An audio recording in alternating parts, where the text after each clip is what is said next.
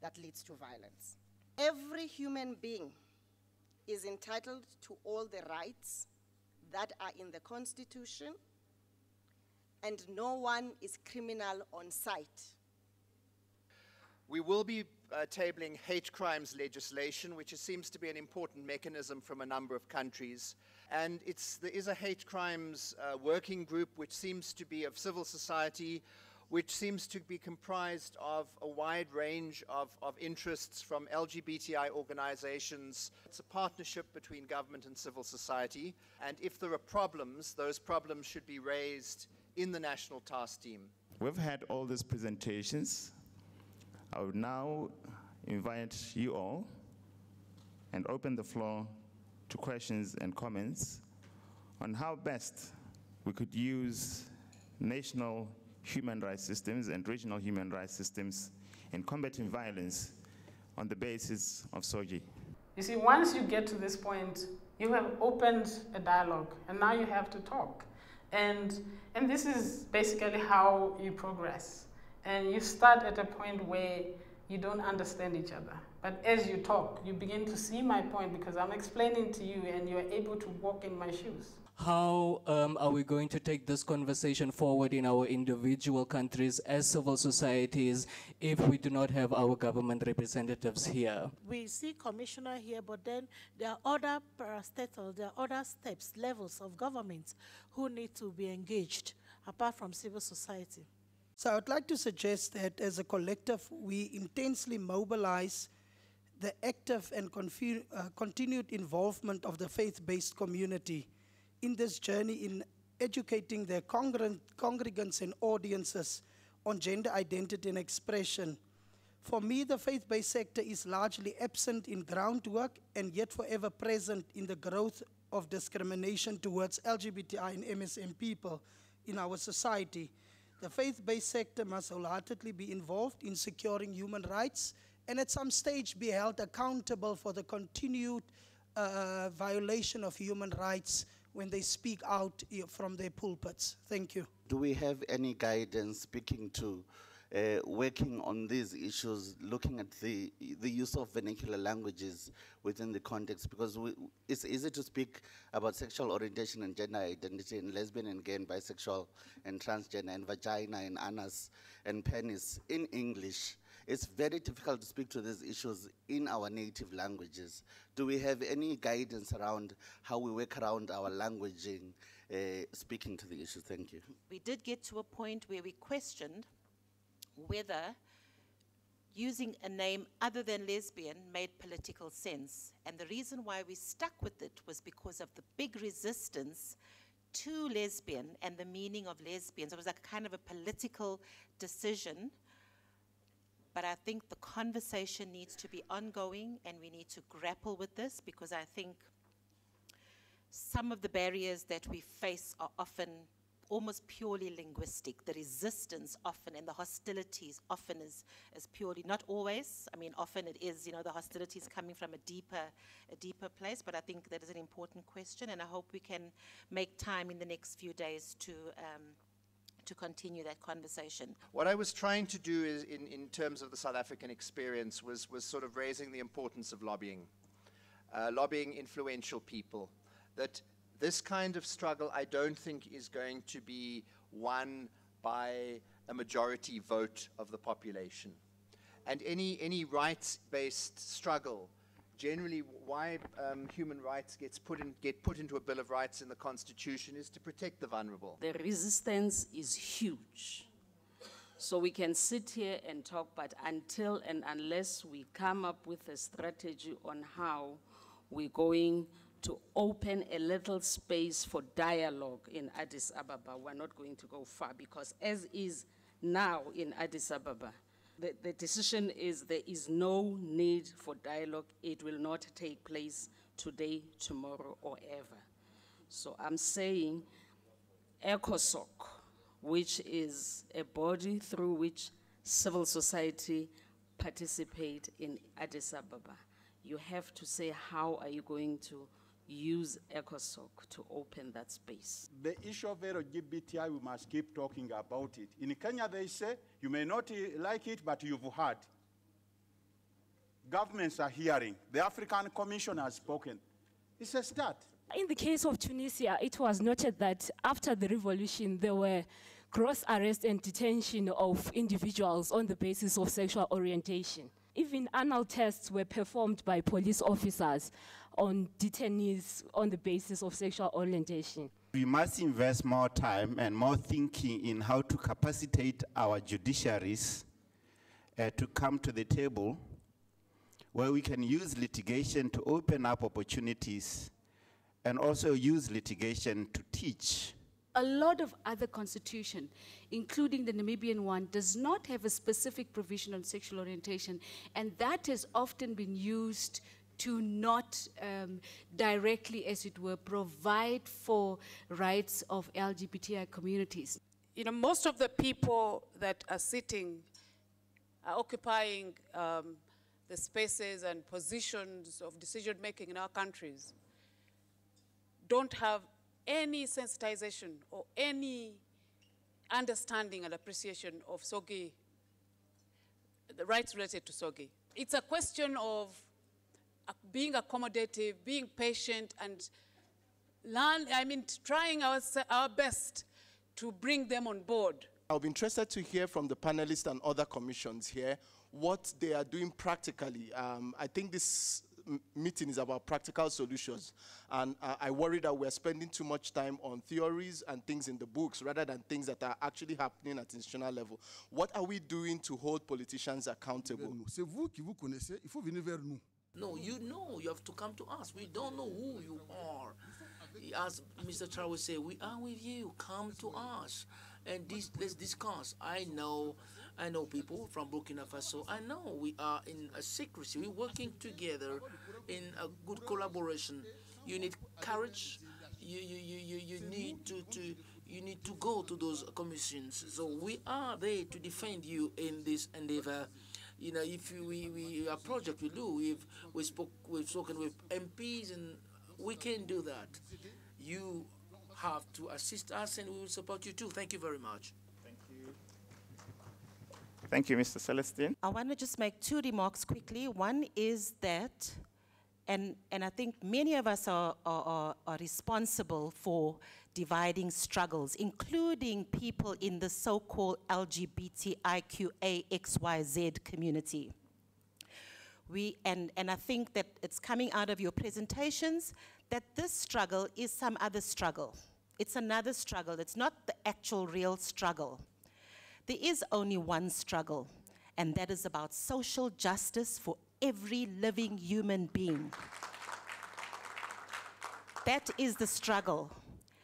And the rights of somebody, myself, who has same sex desire, is not different to the rights of a woman to wear a miniskirt and stand at a taxi rank and be allowed to stand there in her miniskirt because that is her body. It is not different to the rights of a woman who has fallen pregnant and for whatever reasons, she should not be giving birth to that child, to have an abortion. These are not different rights. They, it's one set of rights, and it's about bodily integrity and the autonomy of persons, of human beings. It is only one struggle. The, the, the second point I want to make is we are sitting here as people who are non-conforming. I'm not calling us LGBTIQA. We are non-conforming to the social standard. And you guys, we need you.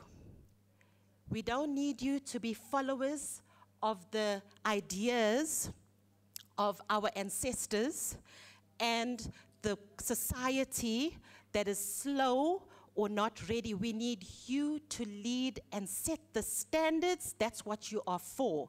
You are a standard setting institution. You are not followers. And if you don't do that, you are leaving us to the hostilities, the attacks, the murder. When you heard people talk yesterday, you are leaving us to the mercy of our hostile states and the hostile laws. We are asking you, we are telling you that we are on our own if you are not with us. And we expect you to lead and set the standards because we are dying. We're not asking communities to say we love what you're doing, we believe in what you are doing. We are saying, keep your beliefs. We understand everybody has belief systems. We understand you think this is vile, you think this is un African, unholy. Good. But we are human. Can you stop killing us? Can you stop torturing us? Can you stop raping us? Can you stop forcing out us out of our homes, out of our jobs, out of our communities, and out of our churches? Can you stop? And that must be an okay thing to say. That must be okay. So we're not asking you to ask communities to hurry up and believe this is okay. We're saying, please, can you stop killing us? Government agencies have felt like they are doing the LGBTI uh, movement and family a favor, uh, being invited, being given the opportunity to, to speak at such forums. And you'll always find that uh, when mainstream issues are being discussed, it's uh, let, let us put the LGBTI conversation on the sideline because we don't want to upset anybody. It's important to distinguish issues as far as I'm concerned. Uh, when we are protecting the rights, we protect rights of everybody. There is issue of discrimination. There is issue of health. You cannot uh, say or not protect these people when it comes to this issue. I have to believe that some of the questions and some of the things that have been said must be sparking something. And that's something I hope is discomfort. And I think there's a danger when we become so diplomatic that we don't create enough discomfort to force a process of, of, of, of, stronger consciousness. And if we can't create that discomfort and start and, and trigger new change threads, almost like a whole lot of threads and chains, that are, if we can't start those kinds of chains and threads with the people in this room, then we're in trouble, you know. So we've got to stay hopeful. We've got to, we've got to keep questioning, asking those hard questions, remain respectful, but also show strength and that we respect ourselves.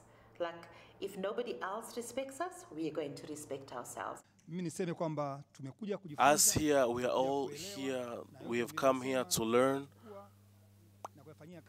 And I'm telling you that we are going to take necessary steps to make sure that we are going to work on everything that has been discussed here. Thank you. I'm also wanting to, to stay positive and to, to have a, a, like a strong sense of anticipation and expectation that the dialogue has started in a more formal way and that this is it can't just be an event like a once-off thing. This has got to be the beginning of a process, right? It's got to go somewhere. So in six months' time, we need to be back in the formal space. But what happens between now and that next six month space when we come together, maybe with more governments and so on? What is the agenda now? And so I'm really hoping that even if it's in small ways, that people are really, like you said, taking things out of this, and it's food for thought. And you know, I really strongly believe in in those sort of powerful those thoughts that are that that provoke consciousness. During the apartheid era, as Africans, we all came together and fight and fought the common enemy. And therefore, why is it now that when we've got this LGBTI, we are not coming together? That's a question that came out very pertinently. And for me, it calls for strategies that we as NHRIs, LGBTI, even supporters from within government must follow in order to effectively address the, this scourge of violence against LGBTI in particular at this particular stage. So all I'm saying is that we need each other. Uh, whether we need to move slow or faster, it depends in which country you find yourself. It may be easy in the one country to move as fast as you can. In others, you can move as fast as your law allows you to do. We know of human rights defenders within NHRIs who have been killed. So there are different dynamics, but it's just something that we have to consider. Thank you. With the pre-conference, there's been a declaration that's, uh, uh, uh, that came out of there, and we're hopeful that at the end of this meeting, these states represented here as civil society, as government officials, as national human rights institutions will leave this place saying this one thing we commit to, to go back to our country and do this one thing. And it will be something that all of us can leave this space with, um, that will be able to hold us accountable to, but also be able to do further advocacy around. The question that we had was whether this is a declaration. Are we declaring uh, something at the end of it? So that's a question that maybe after we've looked at the content of the draft, we may have to answer by saying maybe this is the name, that sounds better. The name of the declaration is really based on the name of the seminar, which is about finding practical solutions on ending violence and discrimination against persons based on sexual orientation, gender identity, and expression. That's the introduction paragraph that uh, this is who we are in the rooms, government officials, national human rights institutions, and civil society representatives. Of course, uh, the dates and the venue. They are now trying to adopt the declaration. Uh, it will be an in principle adoption because we still have to make some amendments to the test. But um, it all came together in the end, so uh, we are quite happy. And Resolution 275 has a life. And all thanks to the African Commission, really, for beginning this process that has enabled us to have this dialogue. And there's really quite a number of practical solutions that have been placed on the table, and the declaration really speaks to that. So, forward is the only way. It's amazing. Whatever our concerns, it's just amazing to see words put to the ideas and the experiences and the analysis, like to see it up there in like clear words, succinct, and just the power of it. It's, it's amazing. This is good. The declaration, although it's in draft, it's something that we can take forward, work on it, and we, from an organization point of view, can implement these things on ground level. It is a beginning, but it looks like it's a beginning of something that is definitely going to be a lot more um, inspiring um, and a lot more in depth in terms of the way that we're looking at doing policy work around um, making 275 real. There's a sense of accomplishment, there's a sense of relief, and there's also a sense of nervousness. Um, simply because it has taken so long and so many people, and we've lost a couple of soldiers along the way um, in getting to this point. Um, the nervousness is then the next steps. Where do we take the declaration? Where do we take the recommendations that have been made today? The recommendations that have been made in the last few days from the pre conference to this very day. People might not understand what this means. That for the first time on this continent, we have a document of the African Union with all the rhetoric around this issue. To have uh, commissioners speak this publicly about the obligation of states